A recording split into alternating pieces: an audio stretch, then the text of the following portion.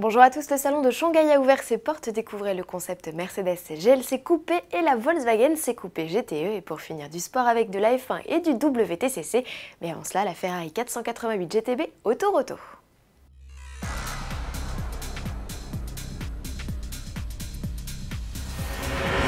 Ça s'anime sous la nef du Grand Palais à Paris et pour cause, dans quelques heures sera donné le coup d'envoi de l'édition 2015 du Tour Auto.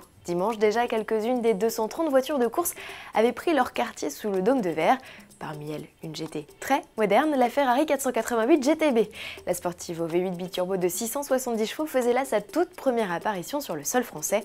Pour l'occasion, une poignée de convives était réunie. Et c'est le français Jean-Éric Verne, devenu pilote F1 de réserve pour la Scuderia, qui a dévoilé la nouvelle monture. Avis aux amateurs, la Ferrari 488 GTB n'est visible que ce 20 avril, puisqu'elle ne participe pas à l'épreuve. Venez l'admirer contre l'achat du guide officiel du Tour Auto vendu 10 euros à la porte de l'édifice.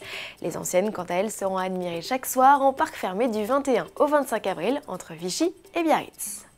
Focus à présent sur le salon de Shanghai où Mercedes a dévoilé un tout nouveau SUV. Malgré les apparences, vous n'avez pas sous les yeux le GL Coupé, le futur rival du X6 présenté en mars, mais son petit frère, le GLC Coupé, adversaire tout trouvé au BMW X4 et Porsche Macan. Ce SUV compact, encore à l'état de concept, est le premier membre de la nouvelle famille GLK devenu GLC depuis peu. Mercedes joue ici la carte de l'originalité avec ce modèle au trait massif et aux ambitions sportives. Il n'y a qu'à voir les sorties d'échappement façon Ferrari California. Sous le capot, le constructeur a installé un V6 biturbo de 367 chevaux associé à une boîte automatique à 9 rapports et une transmission intégrale. La version de ce petit baroudeur de 4,73 m pourrait être lancée dès septembre.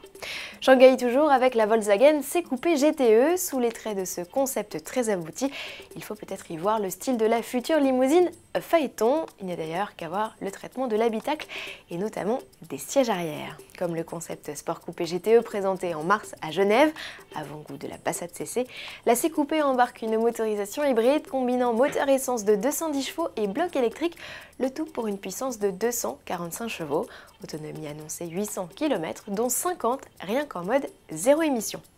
Pour finir du sport, avec la nouvelle victoire de Lewis Hamilton, le Britannique s'impose au Grand Prix de Bahreïn de Formule 1 devant un époustouflant Kimi Raikkonen. Nico Rosberg complète le podium.